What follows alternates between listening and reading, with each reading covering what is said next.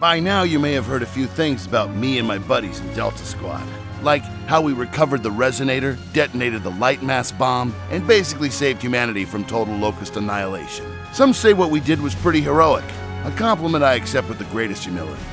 Pay attention, and maybe they'll say the same thing about you someday. These are the top five toughest Gears of War battles.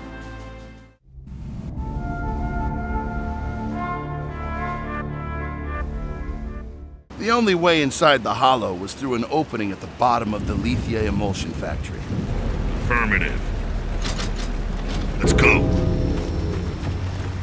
Great idea, right? Old creepy factory in the middle of the woods at night. What could possibly go wrong?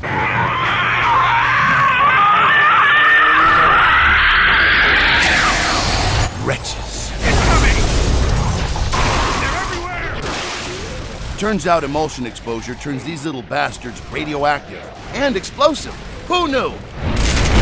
They'd already overrun the factory, climbing up every ceiling and hiding under every floorboard. Of course, there is one upside to fighting glow-in-the-dark locusts. They blow up real good when you cap them in the head.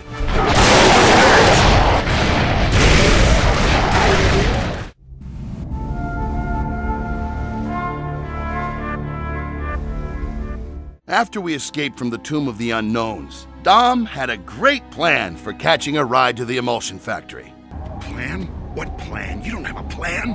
You're just talking shit. plan. Of course, this plan involved him and Marcus leaving Cole and I behind as hostages. I mean, collateral. All right. All right, man. I'll do it. Yo, on one condition. They stay here, yo. As collateral. We can use the extra guns, man. I think I made the best of the situation. We are going to get dysentery from this shit. Marcus and Dom finally found the junker, roasted some Kryll, and got back just in time to take credit for rescuing the strand.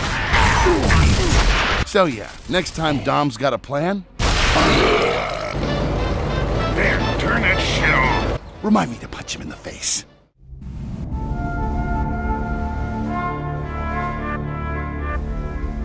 Detonating the resonator meant crawling down into the hollow and slogging through miles of drones and wretches. Good times. Before we finally reached the drop point. Of course, because it's us and our luck sucks, somebody was waiting. Damn Theron guards. Only thing worse than a locust is a smart locust firing exploding arrows. Cole and I provided cover fire while Marcus and Dom, of course, cleared the pumping station. Combat was freaking brutal. We did it. We did it. But I never doubted my squad. Hell no. Great guys. The best.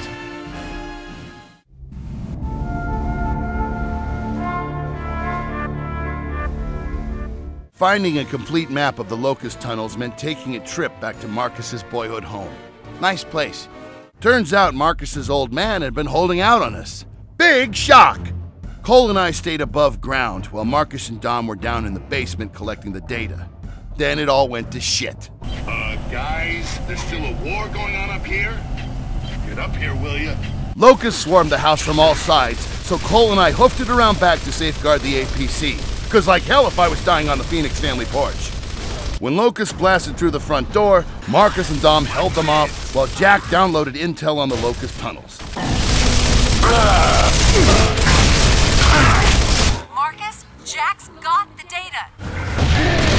Everybody move to the APC, now! And then we hauled ass out of there, wouldn't you? What the hell? Ruben!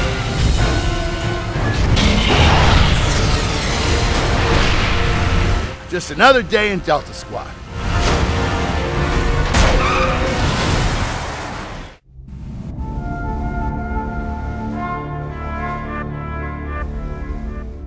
You know that feeling when you're so close to victory you can taste it? Then it all turns to shit. That must have been what Marcus and Dom felt when they saw General RAAM standing between them and the light mass bomb. That white grub bastard was lugging a troika cannon with a bunch of Kryll buzzing around him like a shield. But Marcus broke through RAAM's defenses and sent his sorry ass back to hell. Pretty damned impressive when you think about it. I ain't not saying I couldn't have handled it myself, just glad I didn't have to. The saying's all, you know.